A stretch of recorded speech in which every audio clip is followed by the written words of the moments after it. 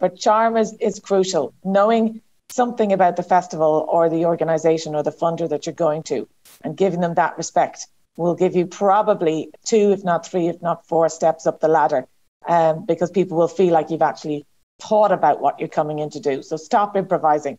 In the room, 52 Jokers Wild. Hi, folks. Welcome to In the Room with 52 Jokers Wild. This week, our guest is Grainne Humphreys, Festival Director at the Dublin International Film Festival. Hello, Virgin. Grainne. How you doing? Virgin. Hold on a second, George. You got the wrong name. Was it the Virgin what? International Film Festival? Oh, the Dublin Virgin International, or is it the Virgin Dublin International Film Festival? What is actually, it, on, on on LinkedIn, on LinkedIn, it actually said the Dublin International Film Festival. So we've actually said it several times. Is it is it still the Dublin International Film Festival, or is there it a new title is. to it? We no, we are we are partnered. Our title sponsor is the Virgin Media Dublin International Film Festival. That's our official title. But I have been with the organisation when it's been sponsored by Jameson and Audi. So, ah. uh, oh, I like this. I like I this. Yeah, here we go. We're going to jump straight in on this one. Jameson, yeah, right. You have to get rid of those alcohol, alcohol, and driving. Audi. So you're going driving while drunk you know, you have to get away from these. I don't, I don't suppose it was at the you, same time, though. I don't suppose no, it was at the same no. time. Was it you had to drop the sponsors because you weren't allowed to, you know, be associated with alcohol, let's say, or did they drop you? Did you have, do you remember? Oh no, I very well remember. I mean, we were with them 13 years, and they actually funded the festival at the very start, and them, they and the Arts Council were actually the kind of core support when it started because we're 20 this year, so it's literally 20 years yeah. ago. And, I you think, look great for 20. Jim, well, thank you, thank you. And green screen included. But I, I, think what's interesting about those sponsorships is, I mean, to give Jameson enormous credit, it was the largest sponsorship, art sponsorship in Ireland, and it was around around the time, if you can remember, 20 years ago, when Irish cinema was filled with potential, but had yet to have that annual presence in the Oscars, you know, and. Yes it was that kind of support and the level of publicity. You probably remember some of the ads they had with the dancing cinema chairs and and you know big kind of billboards and outdoor that really gave a kind of profile. Have you looked and, at us too now? So I can't remember yesterday. I have to remember to put my trousers on in the morning. You're asking me if I can remember 20 years ago. You, I'd be lucky to remember to, to brush my teeth and comb my hair. Well, it's funny sorry, because sorry. I've actually been going through a lot of Super 8 video from 30 years ago and and you know, one of the things we're talking about film. What's really interesting about this because Garvin keeps going, "Oh, George, you've gone off into the past." But what's really fascinating is I I've actually got uh, a little digitizer that's digitizing it, and then I've got myself a little motorized reel thing, and it allows me to capture the sound that's on it. And I've been synchronizing the sound. And what's happened is that, like my my son was saying, I can't remember when I was a kid. Now all of a sudden he's kind of going, oh my God, I sound like my son. He's doing exactly the same as I did. Now I understand. So, so having film as a medium, like like VHS and Hi 8 and DV and HDVD, basically those formats are gone. And if you if you haven't got something to play it on, you're, you're snookered. But the film still seems to be around, which you know, I mean, how's that going to affect you know, festivals. No, I'm actually, George, I'm going to stop for a second because I was yeah. very cheeky there and I went off on a tangent about me, my, my comb and my hair. And, you know, but I, I'm really actually more interested in the core initial sponsor because I don't understand the current etiquette. Let's say you had, you know, Conor McGregor comes down the street there now. He's got a bottle of whiskey in his hand. He wants to sponsor next year's fest. Oh, I know Virgin are there. He might push them aside. But are you allowed have um, cigarettes and alcohol as sponsors, or does it is it is it an issue at all? I don't know. Going forward, let's say. I think it is an issue. I mean, I think it comes down to what you want from your sponsorship. I mean, I think that's actually money, the most important money. Thing. It's very clear, no, very it's clear. not about money. No, sorry, oh, sorry, to be sorry. really. I, I know that you know it was suggested that everything is about money, but it it really isn't because you can find that actually the values of yeah. the two organizations can be completely at odds. And I would actually say that that's one of the biggest issues for arts organizations because at their core, they're usually about the art form and bringing it to an audience. And, you know, there's a similar dynamic, I suppose, for many, many kind of corporations or brands. You know, it's about getting larger, bigger numbers. But how they get them are sometimes completely different. Um, and I think you, you are right. There are definitely dynamics around cigarettes and, and alcohol, which are quite heavily controlled So, for instance, a number of these partnerships are based around the exposure that you can have. So, if it's an alcohol brand, if you will target young people, for instance, will you be, you know, able to do it around a music or a concert?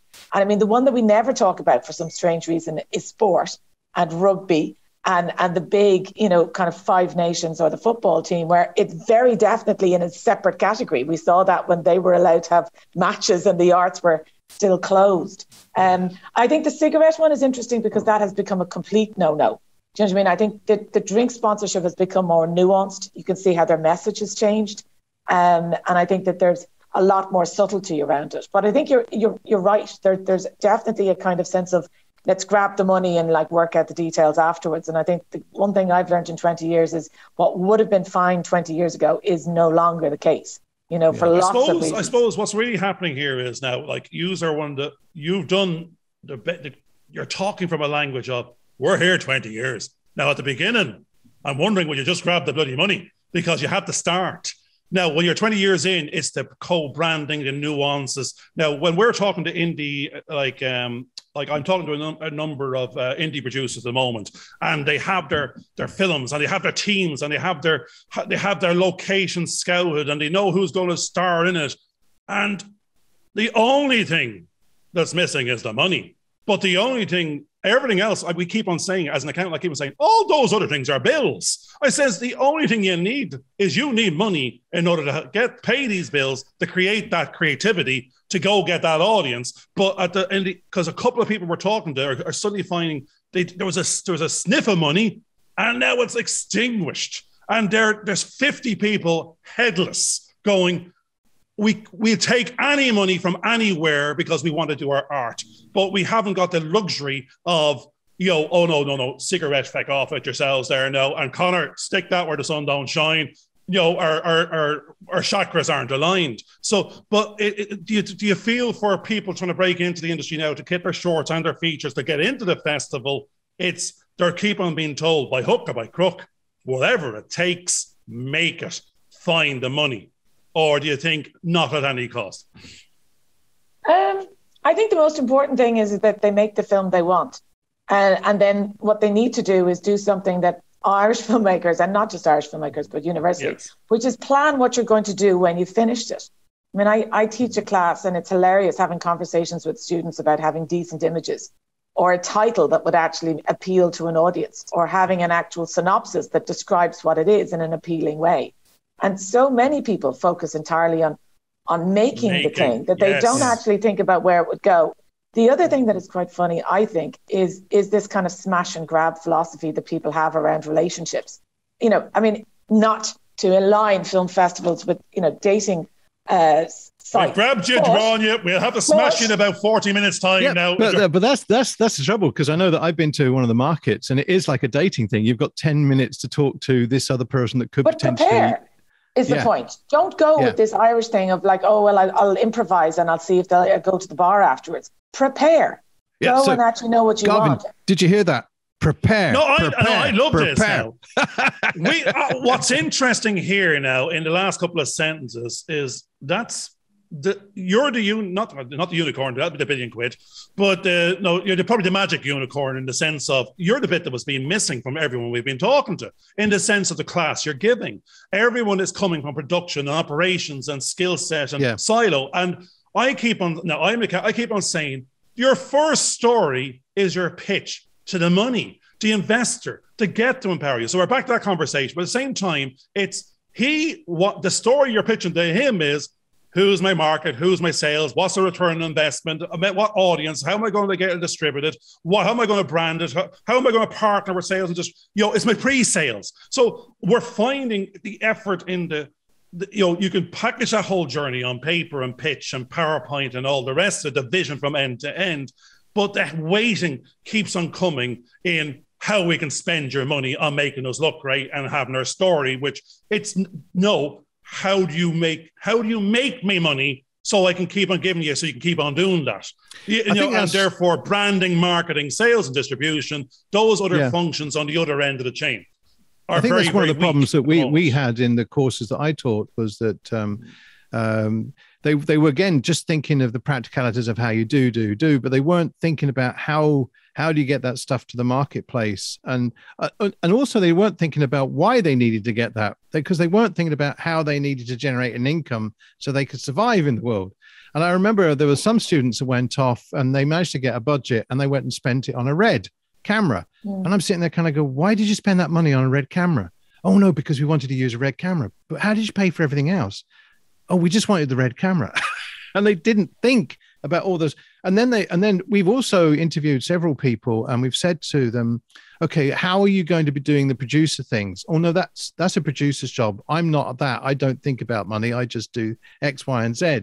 And you're sitting there kind of going, so who's going to do that? Oh, I'll leave that to somebody else. But how do you know how to trust them in what they're doing if you haven't worked out the process?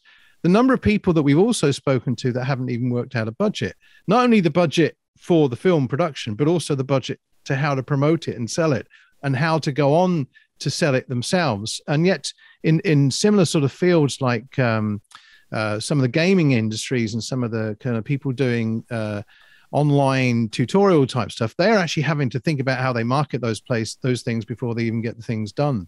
And there's a big area in that. But so so why do you think from from your experience of teaching why do you think that that's not happening in the film industry i think you're right i think it's about this focus on you know being out there in in the mud with a camera on your shoulder do you know what i mean and and and the kind of the struggle um, I think people have, have made really great films, to be quite honest, in the last two years because they've been stuck at home and they've had been forced to do another draft rather than actually going out and doing. You know, so there's been a bit more pre- preparation.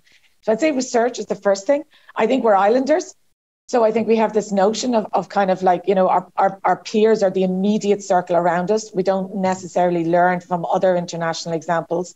So I see it all the time when people say about what their festival strategy is, and they just talk about Irish festivals. They don't talk about international festivals. They don't do any research on films that might compare to theirs. And then the other bit that I would like to mention is charm. Uh, it's this underrated aspect, which is that if you start off a relationship with a festival who doesn't take your film, they will appreciate that and probably look more kindly on the next film. But everyone presumes it's about the film, whereas as we all know, it's about relationships. Um, and it's about cultivating those relationships. And it's about cleverly dividing the artist, if that's the director or the writer, and the producer to be the person who has to say, no, we want opening night or nothing, or no, we want four business class flights, or no, we won't be able to give you this until this date. And then the artist can be the person who says, oh no, I'd be delighted to do any Q&A that you want me to do. And I'm very excited to invite all of you to, plus the president. But you know, you have to be strategic about it. It's this kind of idea that festivals and exhibition are some kind of amateur playground, or or the opposite, that they're locked away in some kind of space that you'll never get access to. When it, it's actually very easy, you know. But again, it's about thinking beyond what your your film is. You know, is it just a calling card for you to go to the Stag's Head and say that's what you were doing for the weekend, or is it actually going to be something that you're going to turn into a career? you know. Yeah. Um, and I think that's part of it, you know, is the idea of understanding that it is a career that needs to be tra- treated with the same kind of focus. Do you know what I mean? That we, people would. We were talking to, sorry, sorry, Granny. We were talking to uh, Judith Blackburn of the Chicago Irish Film Festival on our mm. last show. Actually, we suddenly suddenly have a couple of festivals, but I think that's just the time of the year. So we we were talking to Judith. She's 24 years in the business, uh, director of the Chicago Irish Film Festival. She's bowing out at the moment. She's leaving a good team behind. And she says the honor to see 1,600 you know, movies and shorts and features over her span of, of being in, in charge or on the board or, or part of thereof. She said she wouldn't miss it for the world. That became part of her life as, you know, facil- this facilitating this space be it hybrid, be it real, be it online, because she's done all three in the last couple of years.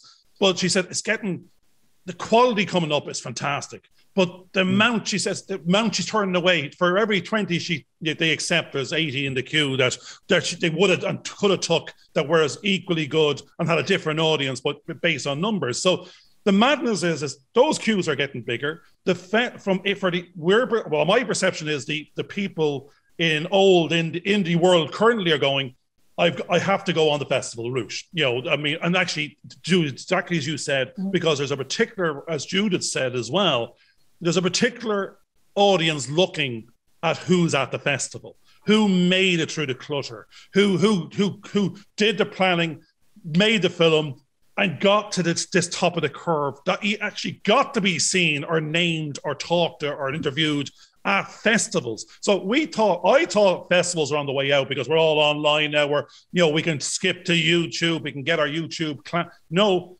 I think after the last couple of conversations, and you're probably going to affirm that again, it's more important than ever, you know, yeah. in the sense of because this is the breakout space that's understood that sales and distributors are courting or want to know who's coming from Ireland or uh, further afield. You get to do that little relationship dance, in my opinion. You get to do that. You have the peacock feathers, and you have you've got a chance to have a little bit of glory that's very, very focused, very branded, and the, the limelight's on you and now you've got to get that, lock in those type of relationships to get the next level of sales and distribution and further afield. Because at the same time in that festival, you eke together a budget, in my opinion. And if you don't do something with that moment, you're back to a queue of a following year to start the process again, and you have no money again. And it becomes very, very disillusioned and tough unless you broke out. So do you feel this the like the Virgin you know, the brand there alone is like like you know, you recognize it worldwide, and it's a, now uh, had it been not there, I think Dublin you also recognize worldwide. Ireland is on the worldwide stage, always has, always will be. I think the world and its mother is listening and looking, and is very curious and very interested to see what comes out of the Irish market. And yeah. you know, it's always brilliant talent because with so many creatives. But what of the other people just behind that queue? do you feel more could be done for them or more we need more money more budget to to, to help to create because the audience is bigger and content is a massive demand and it's just matching money to creativity to to to give opportunity i think is a, is that trifecta is not perfected yet for for most people there's a question there thing, somewhere. I don't know. What. Yeah, no, no, no. I th- no, I think you're right. I mean, I think you're right. Uh, the festivals are about curated. It's about distilling for both the audience and for the industry. You know, what is the best, or what you're, you're showcasing is the future. And I think that is very important. In relation to the kind of emerging talent, I think one of the most important things that I would see is around diversity. I mean, we have a very particular kind of, of industry and the, the kind of stories that we tell, which in the last 10 years, we've probably started to encourage new and different voices. Um, but there has been a very strict, nearly kind of career path. You know, you you went to IADT or you did a particular kind of course, and then you, you maybe apprenticed on a particular number of shoots. If you were lucky, you did a couple of the international ones, and then slowly, slowly, slowly. Um, and I think the reality is, is that there's huge amounts of jobs and there's lots of, of interest around the country. And I'm linking them to everything from the studios that are now in different parts of the country to actually the fact that you have the education and training boards you actually have a number of film courses all over the country, whether they're actually in, you know, Waterford or Cork or Galway or, or um, you know, even the universities now actually have a production element. You also have the film societies, you know, and, and obviously you have a lot of action around the, the guilds. Um, so there, it feels like there's a lot more kind of energy, and I think you can see it. I mean, I'm very surprised about the fact that the last three years, I'd say we've had at least four independently funded feature films which have been probably crowd-funded. No Screen Ireland support, no Arts Council support, maybe a tiny bit of money from the county no, council. I'm going to stop you there for a second, Gráinne, because the weird thing about that sentence is no support to these three headings. And it's not that there's no support, it's just no support for that film. Because what happened is they supported some other film and they had a budget. And when and when they're supporting three, they can't support five. And that's where we're telling these people go, oh, it's next in the queue. But when I join next year's queue, I'm back in a queue of something else and I have to recompete. It's not that I get to move up a level in the queue. It's it's what, what's very interesting what you said there now is these other ways of financing because I I've I'm I am in a couple of people now and what's starting to I was looking at TikTok by accident about 50 times there last week and what's starting to appear is they're trying to map fund crowdfunding to uh, actually the name of the company in question is FF3, and they have a crowdfunding platform for film production.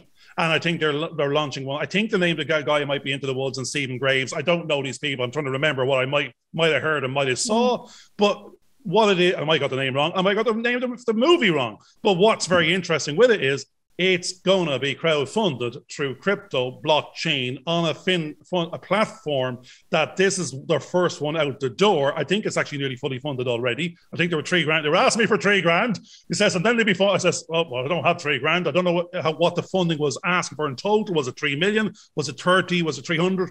But it only went live a week ago. It's already funded by what I'm hearing. And that was a tester. And it's opening up this other market of people that no, I couldn't even. I won a prize, an NFT prize. I don't, I don't even know what an NFT is.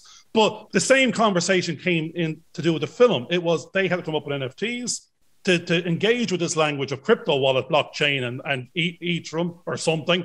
And and for me to be an investor in that market, I have to have my wallet. I have to be you know comfortable with with with with Bitcoin and stuff like that. But what it's pushing it back to is real world asset class of investing in film and breakout, you know, tracking your your your royalties through through the IP of, of an NFT associated with a film. Now, I don't know what half of that even means. Well, actually, I know, I, I, I know that I was reading up on this, and the more I read up on it, the more and more confusing it actually becomes because it's it seems like a minefield.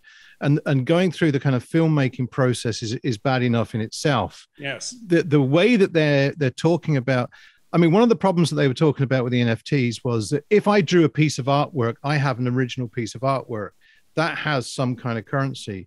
Once it digitize it, it doesn't matter which. It used to be, let's say, if we went to VHS, if I copied a VHS copy of the last one, it degenerated and, and went, you know, it became worse and worse and worse. Doesn't matter how many times I copy a file now digitally, it's exactly the same image. And the problem that you've got is who has ownership over what. And if the artist is still trying to keep their IP on that, and and sort of, you know, there comes a confusing part of who who is the owner of the asset in the end. Now, I've well, actually, no, sense, George, that's the very thing. The whole point of the blockchain and an NFT is is who who owns the NFT. That is a unique asset that can be tracked and traced for its royalties throughout all countries and territories over time. And they see the answer to financing film and attracting new investors is this market are comfortable with a little bit of gambling on the currency side, the asset side tied to real world income potential and ownership of a film and its IP and its future royalties. That's my interpretation of reading it for three yes, minutes. But, but, do you, one of the, I suppose, Grainne, do you have any understanding of this of new Bitcoin funding thing. direction for films, yeah. I suppose? The only thing I would say is is that following on your line about our, our colleague in Chicago is that if you watch as many films as I do, then you realize that the people who are making the films for money are basically never going to get that money back because That's the right. kinds of films yeah. that you're describing are being made on a kind of algorithm, which is usually made by someone who thinks that you know a Korean audience are just waiting for them. Um, and that's the problem I would have is actually about this. You know, what I was going to say about the crowdfunding one, to, to come back to talk about what that effect yeah. it has on the film, is that they are often more fresh and more connected to a younger audience than something that has gone through one of our state funding structures yeah. because yeah. the structure and the you know management and the production kind of like design of that particular funding scheme you know can not always obviously um, you know inhibit whereas actually these people who are making this film some of them as i said with their you know local credit union or have found their own way of doing it you know possibly are more aware of exactly how far that budget will go and what it can do. Now you know there are some breakouts and then there's others that you know you just wish had had a little bit more time. But what i'm interested in is is the numbers that are growing year on year. Mm. as i said it seems that there's like three four five feature length films of very high quality. And i think what's interesting is, is those people are making them to go back to your comment about the red camera.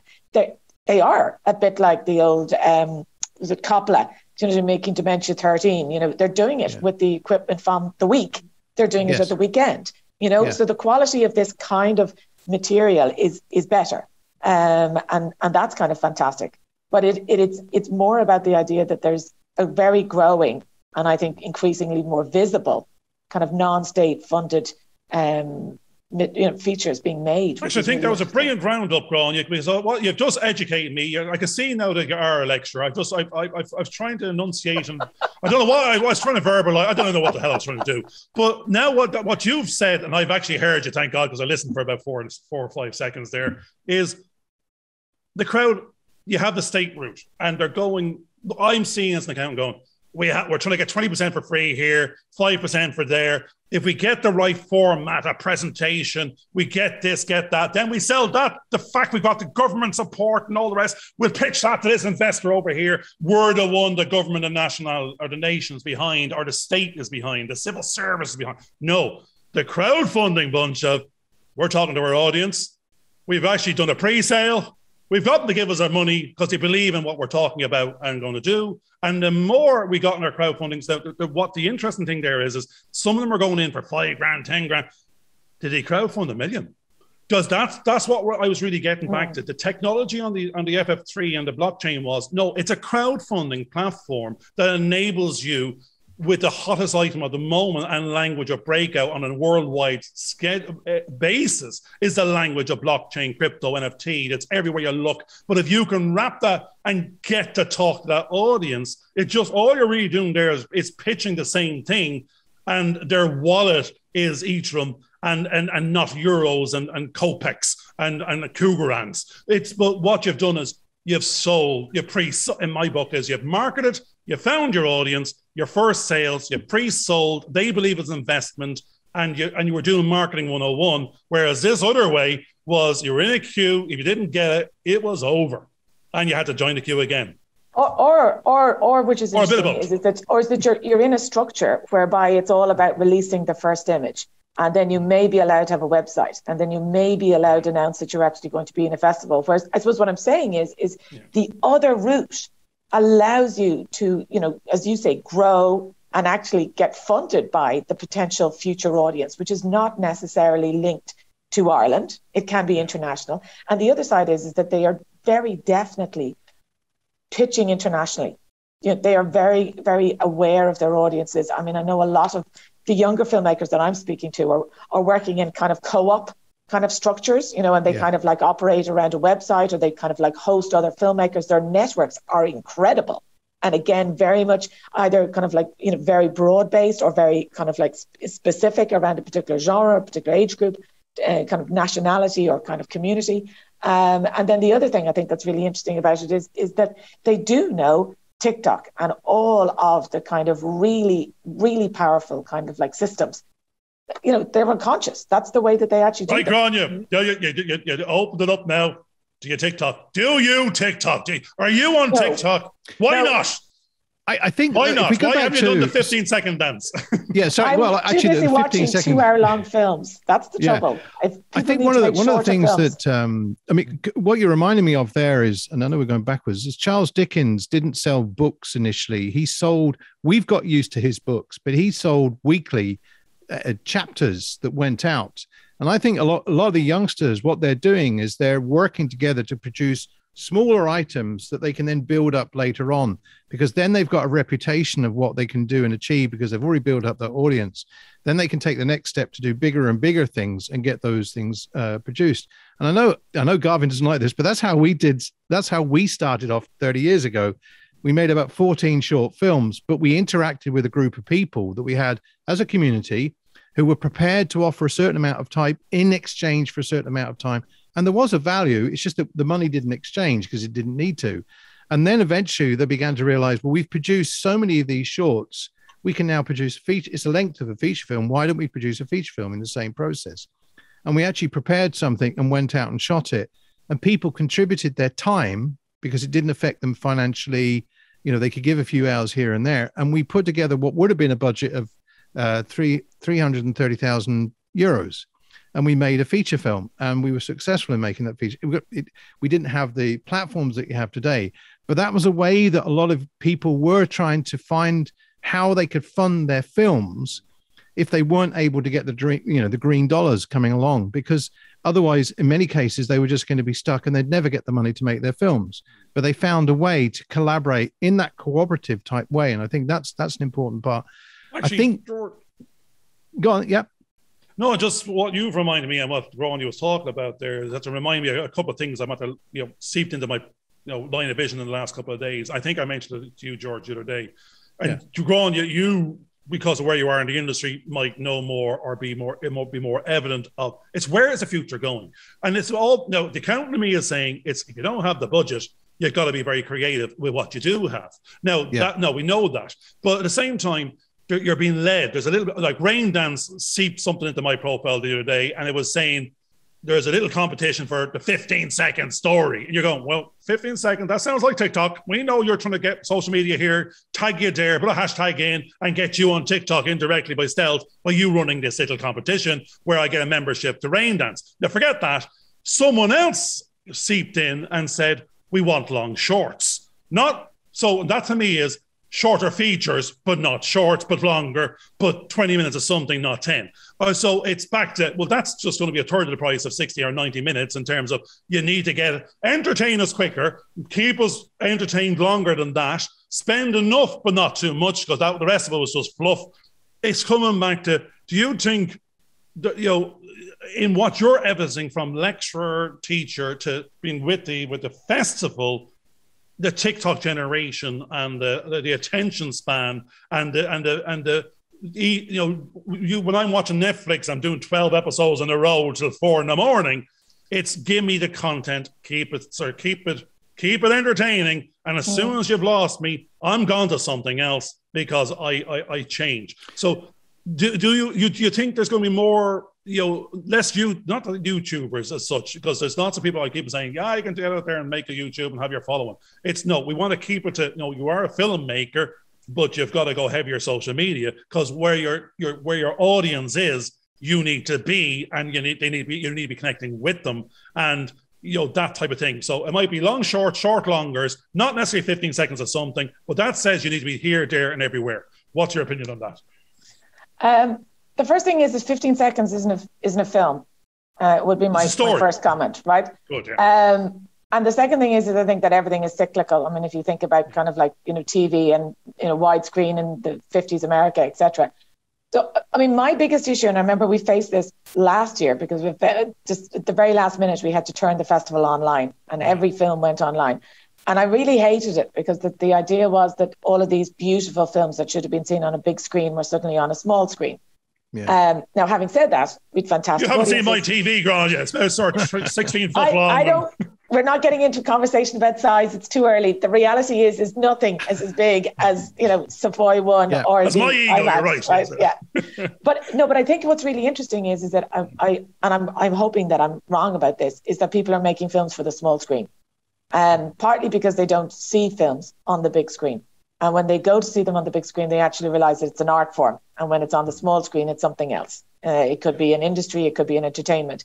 And I believe that we need to have some Irish filmmakers who want to make art films, who want to, yeah. to embrace and challenge the art form. But Not, then you have to have it funded separately because yes, you do. That's yeah, yeah, yeah. Yes, I mean, one do. of the biggest problems I think that's happening is and uh, about is the simple landscape compared to portrait, and everybody because they're using their phone is now shooting everything they shoot video wise in portrait, which limits its potential to get anywhere. I mean, I've had people go and shoot some wonderful stuff for a documentary, and I said, I can't use it. You've used the wrong format. Uh, and and they don't seem to understand, you know. But those people that are, as you say, filmmakers, I mean, they are. I mean, I know you were talking about the Korean films a short time ago. My wife is now watching Korean TV shows, and she'll stay up. She'll binge watch for five or six hours an episode. Uh, and she'll actually love watching the, the subtitles and she's listening to the Korean voices. And she got te- teach it, talking to my niece, who's about 29 at the moment, and she's doing exactly the same thing. So this this idea that we're only got a short attention span is is actually complete nonsense. Most of us have really long ones, and, we are choosing to go for these longer, longer stories, and we are investing in the characters that we're watching. And if you like, I watched a six part episode uh, series recently from Holland or somewhere, and I got frustrated at the end that it didn't deliver what I was expecting because it, it just didn't, the story didn't develop. Um, and I do know, having taught 16 year olds and 17 year olds, that they think the I'm same Garvin. way. Yeah yeah and garvin that they think the same way they want they want to get immersed into a story which is why you'll find a lot of the kids playing games that they can just control the narrative and do stuff that lasts for hours we've we've got a granddaughter and a, a, grandson in Canada, and one of the problems that we're having is we're getting to see these little story things from Facebook or Twitter that last two seconds, we haven't got time to look at them. And we're getting more and more frustrated because if you'd got a still image in front of you, a cardboard one, you'd sit down and look at it for ages. We're being deprived of all that and getting more and more frustrated but the the algorithms are saying that we and they are just algorithms they're supposed to be stories in themselves are telling us that we we can only have three seconds of this or five. It's the same as what you were talking about garvin with the different funding bodies. They're restricting and pushing us in directions that we don't necessarily want to go. And i think that's where there almost needs to be a rebellion in filmmakers actually no george the weird thing is you put me back on the question i was trying to arrive at earlier as the because the accountant keeps on going in and back out yeah. again. I don't want to let the accountant out and he just keeps on coming out. And I'm going, the thing here is we talked about the artist. So there is, there always is a place for the cinematic, the artist, the, excuse me, they're showing their, they're trying to show their work, their art form through their medium of sound or camera or lighting or all on the acting, the combination. And this is the platform. The, the, the film is the platform, the testimonial platform to show their art and their, and, and their personality through it. But as you said, if it wasn't funded, that doesn't happen. Now, if they can go into a queue, that's going to be they, they they're recognized as artists, and that's what they're going to deliver, and there's funding there for it. Brilliant. But what I think is starting to happen, and everyone will probably agree or disagree, is because of the OTT platforms, Netflix, the Amazons, all the rest of it.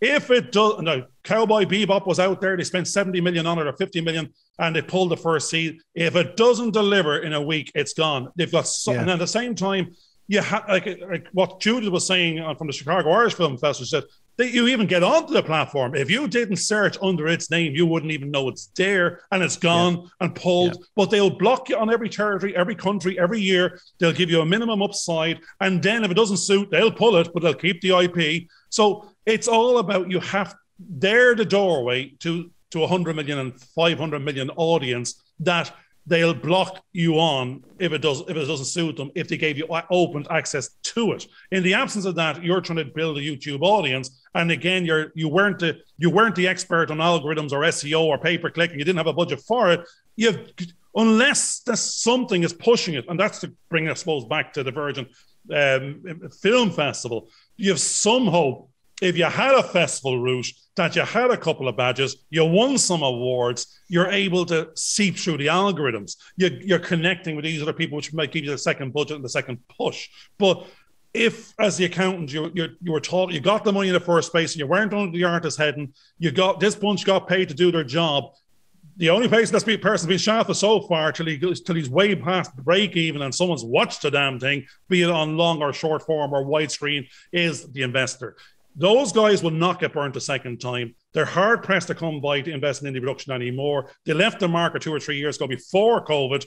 Now, I'm only talking about, let's say, 5 million under. I'm not talking about those good stories that have all the relationships that can get the funding because the A-listers and B-listers are involved. It's in it's the next layer of people that need to get finance to show their art form that don't have a, a, a support from the government because someone else has it before them and they can't wait 10 years to get it and maybe never get it. So do you feel there's it's back to the money? Can we pre-sell? Can we actually to co-ops? The great thing you said there was co-ops and community. They're getting together. That's what we're evidencing. People are coming out from writing, directing, and acting, and they're getting together and going, We're the team. We can all work together. We're all aligned in our vision. It's horror, and we we, we know we got a skill set in it. And we, we're now we've got a community and, and, and we're going to self fund and we're going to and, and we're going to, and that's our pitch for the bigger budget. It has to be a bloody good 10 minutes or something from this team of people with our art included to get to get that award or that festival. Do you feel people should have more awards, more festivals, less festivals, or would you dilute by having more festivals? I think there should be better festivals. And I think there should so, be yeah, more Irish Virgin, move on. There's a better one required. no, I just mean, I just only mean, messing, only messing. No, no, no. But I, I mean it sincerely. I mean, it, like the biggest problem that Irish filmmakers face is the fact that they make films for the most part in English, and they're immediately competing with American and British cinema, and and they have therefore tied themselves into a particular dynamic, which they then have to try and escape. So if you look, for instance, I did an Irish season in Korea to go back to Korea again. And it was basically provoked by a taxi ride into the hotel with a guy who just told me that once was his favorite film. And we brought, it took six years when we got the Irish filmmakers and everyone, Neil Jordan, Jim Sheridan, John Butler, uh, John Carney, they all came out. And it was huge. But who knew that Korea was no, actually hold, a great audience for the Irish one, cinema? The one, what won on once was the song. You know, but so the music loved, got a further audience yeah. that then subsequently got the audience to watch the film. You know, yes, but what I'm I saying think, to you is is that nobody capitalized on the fact yeah. that there was a film that was reaching an audience, and nobody yeah. said, "Let's do another one. Let's try and create and cultivate that engagement." There, there was a very and interesting I'd say that about thing. South America as well. Yeah, know, one, one of the things that happened at that particular point in time, because I know um, I made Fiddler's Walk when once was made, and uh, one of the problems that we were having was is was trying to get your film seen by people. Um, and what happened in the funding rounds was if you happened to be Danny Boyle or you happened to be some other big filmmaker, you were given a budget to go and shoot on DV. Uh, and and he went and made you know that that uh, 28 days. Uh, I'm not sure uh, somewhere around about that sort of time. And what was happening was that if you were if you were a big filmmaker, you were suddenly getting the the, the funds to make these low budget, you know, you know, they they were the ones that had access to the 35 millimeter. They had access to, you know, the high end digital formats. It was the it was the underground people that were trying to use these other form, and that circumvented, I think, because it pushed those budgets up, and then all of a sudden it undercut um, all the other filmmakers that were trying to do stuff that they then had to struggle to get because they were now competing with the big boys again. And it seemed that every single avenue that you took, you were you were fighting with the the big boys who were then getting in and taking the funding. Because even with the crowdfunding, I think it was a lot of it, it, there was a, there came a point where a lot of Hollywood film uh, film producers or actors suddenly went in there and started using that to get their films funded and they almost kind of wrecked that system for the for the the, the the guys down below that we're looking at how do we get them help you know to get their films made. And that that was a big problem. So again it, it, that seems to be happening in waves. When there's an opportunity that opens up all of a sudden hollywood and the big guys come in and they kind of by coming in and swooping in they kind of decimate that area and then go off and carry on making their own movies. So so there is a i think a ploy to try and wreck that those avenues for the low budget filmmakers to try and you know it just it's just an observation that i found uh, over the last 20 or 30 years because there have been underground filmmakers trying to push their wares out there to get a to, to reach an audience and then someone's come in there and, and kind of muddied the waters for them.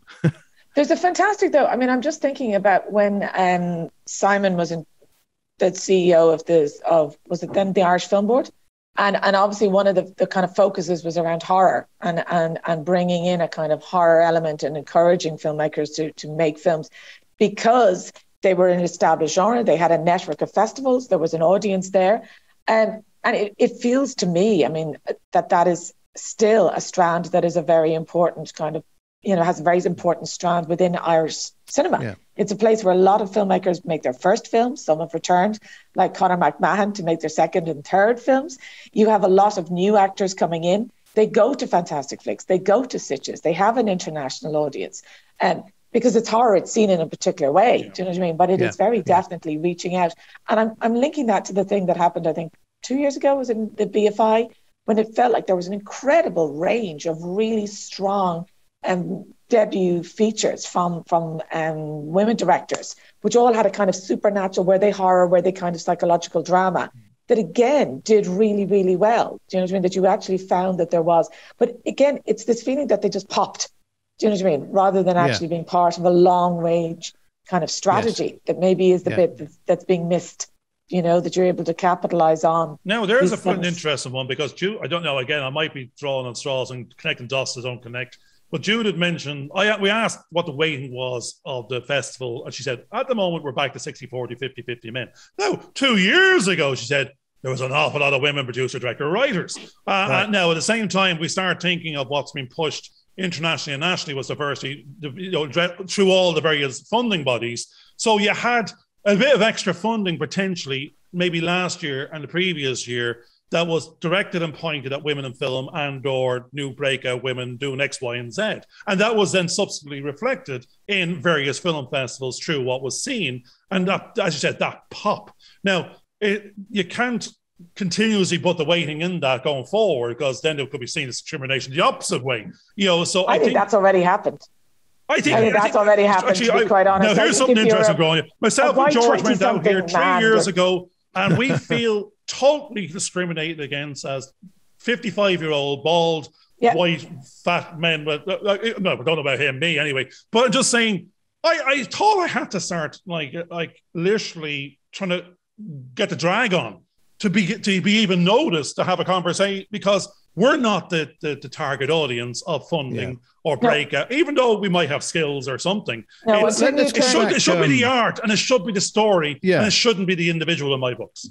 Let's go back just a few moments there because because I think it was really good to get your perspective there, Garvin, of, of how you feel from from our perspective as men. Unloved, supposedly. George, unloved. Yeah, unloved. But let, let's get your view on that, Grainne, because you looked as though you had a specific point that you wanted to put across about what the problems were there. Could we could we hear your as your your view on that? Because I think that would be quite important at this stage. Well, it's like I was saying earlier. Like the problem is, is you know, I'm 51. I've been living in Ireland for all of my life. Do you know what I mean? Jeez, you're great. Kind of Where did you get your hair done? Me, my, my wife would love to know.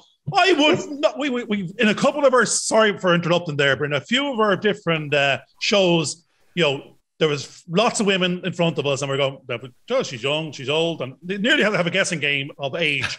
but I would have put you at 31, not that. Aww. My God Aww. Almighty.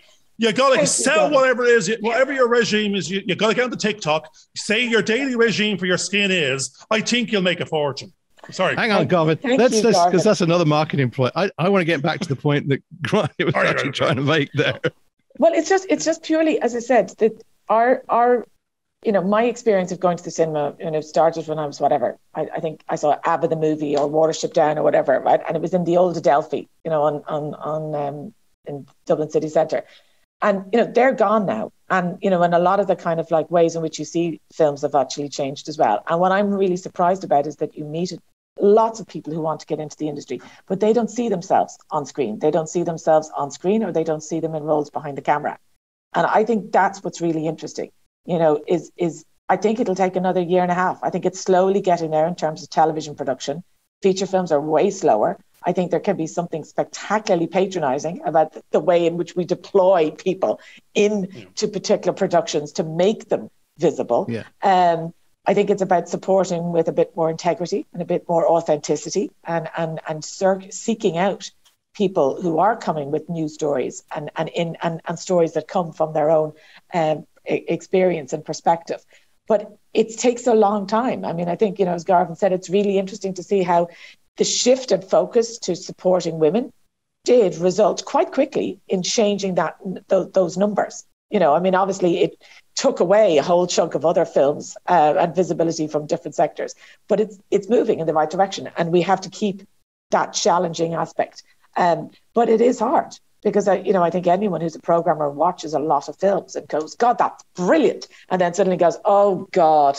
I already have four. I need to try and think of something that actually will bring yes. in this particular group or appeal to this particular audience. And then the other group, because you brought it up, is older people who do not exist um, you know, unless they're about to go to Switzerland. And I say that as somebody who has two films yeah, go on, that has that subject. We you can know, go there. Right. Anyone no, over yeah. 80 is going to Switzerland and is yeah. trying to get their family to support their decision. And I really hope that it's possible to have stories about people in their 70s that does not involve dementia or as I said, uh, assisted suicide. So that that's what. No, actually, I like where you're, uh, not, not what I like yeah. where you're going when you're 80 to Switzerland or, or, do a bit of skiing. That's what I'd be doing. I don't know what's going on over there.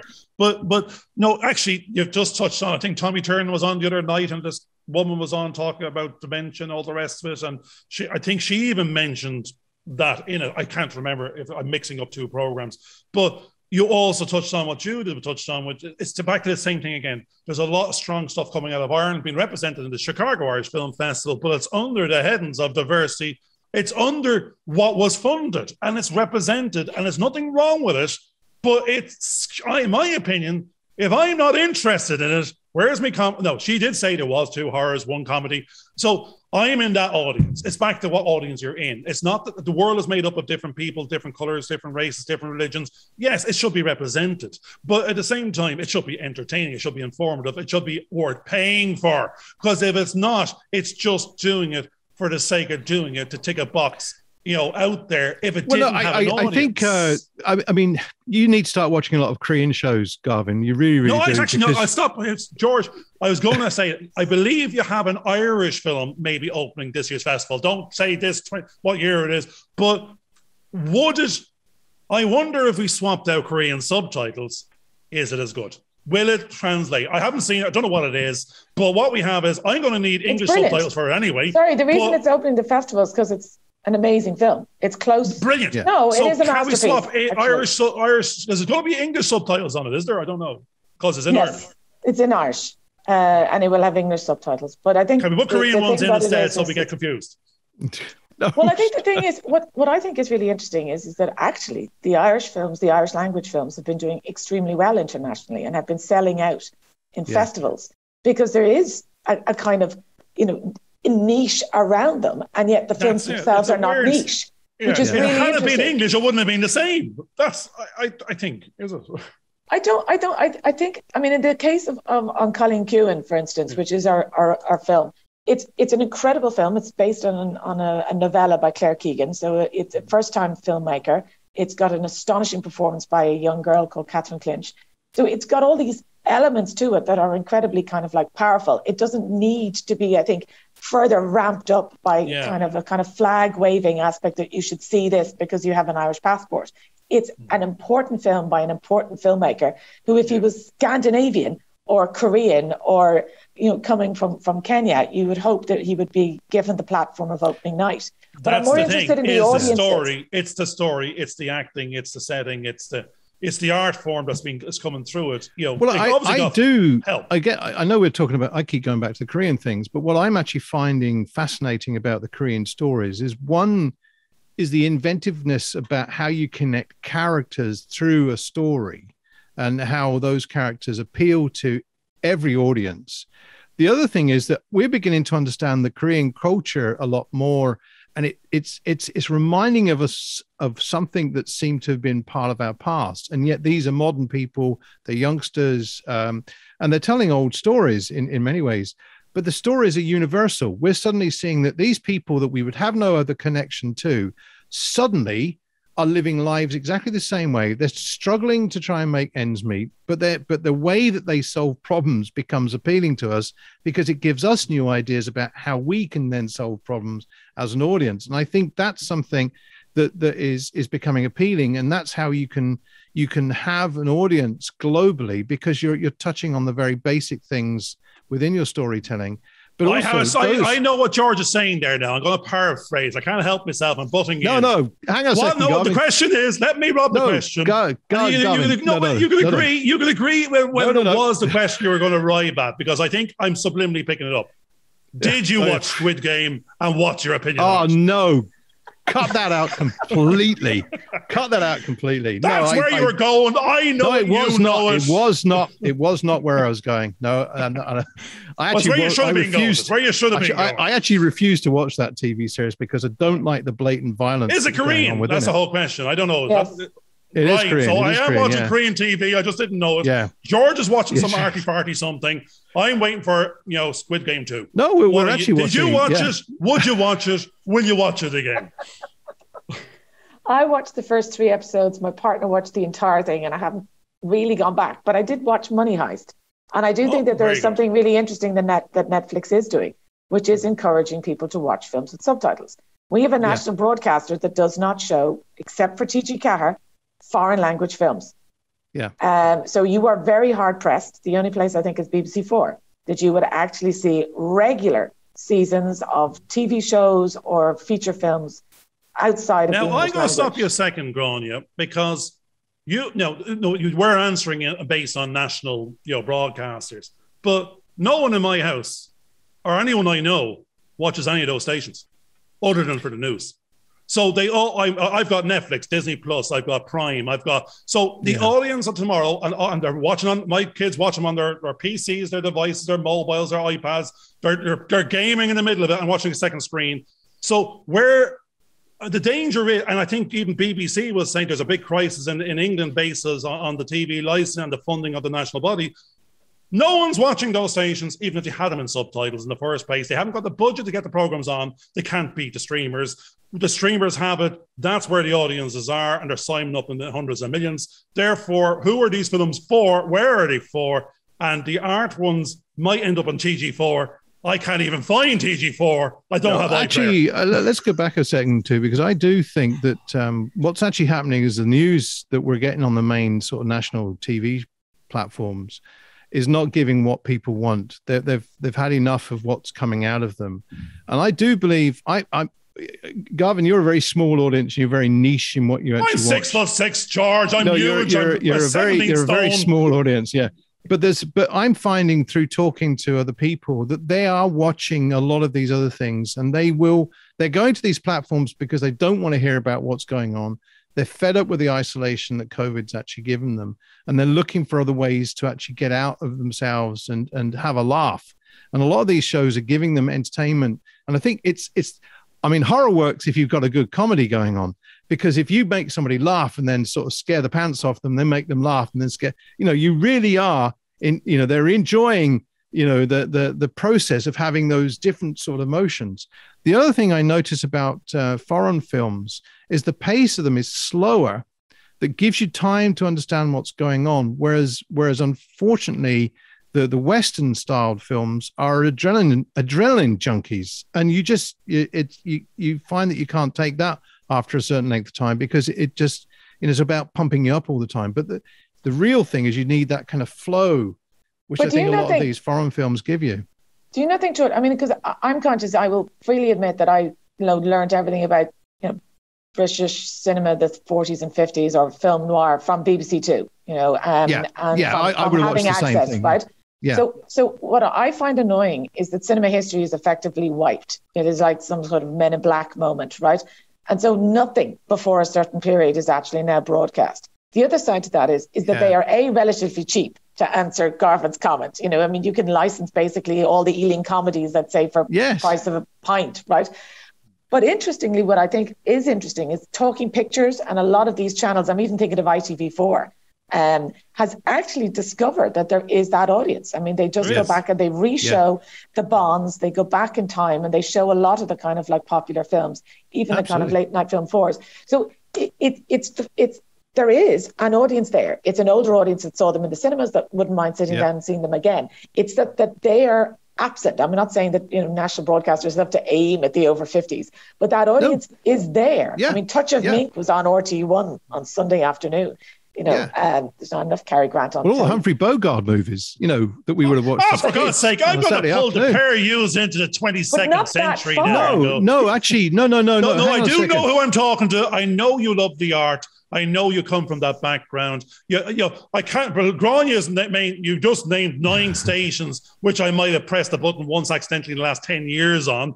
And I was, I, I, I can't even get them anymore. But I'm just saying, it's the audience. It's not there. You did touch on the same sentence. That, hang on a second. Yes, there is 12... an audience for it. There is no, no, no. Hang on a second, Garvin. Garvin, Garvin. Let me let me stop you there because one of the things that we did was we had a, a, a, a for five years we showed sixteen year olds 12 Angry Men. They first got angry when they went into the room because they said this was not the movie.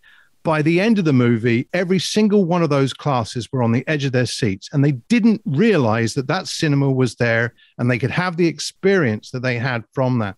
So one no, of the problems I know, but a caveat on that, George, you're you're showing 12, 16 year olds in a film school film making techniques and film noir and film. I'm, I'm talking about the mass audience the, the, the film the, those films were made for the mass audience at the time and the whole world would have yeah. saw at those times now i'm just saying for to see it again it's it's actually in those silos of, of, of genre stations that will give you access at a touch of a button if you want to find them because you have bought that IP you're talking about. So they they I think they they, they are and you named a couple of stations there to have a Sunday for an afternoon, but they're on the, the, the YouTube channels or they're on the, the, the Netflix and OTTs. They're, if people want to seek them out, they're saying, I want to watch 12 hours of, of, of noir cinema. Yeah. You know, but I'm just saying going forward for indie breakout people, new films coming out, they for them to have a career to have a future to get jobs or, or make it again they have to they have to attach nearly first time out of the door to an I, audience that wants to see them again and pay i think it. the problem is that if you don't understand your history